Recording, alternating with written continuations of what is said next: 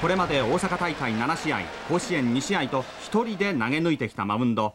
軸足を襲う激痛そしてプレッシャー。なおもワンアウト二塁三塁で8番小川亮にもスリーボール。そして4球目。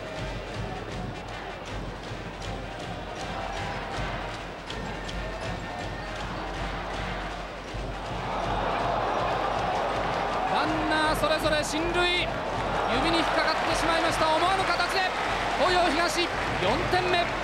さらにスクイズも決められこの回3点。5対2と東洋東にリードを広げられます。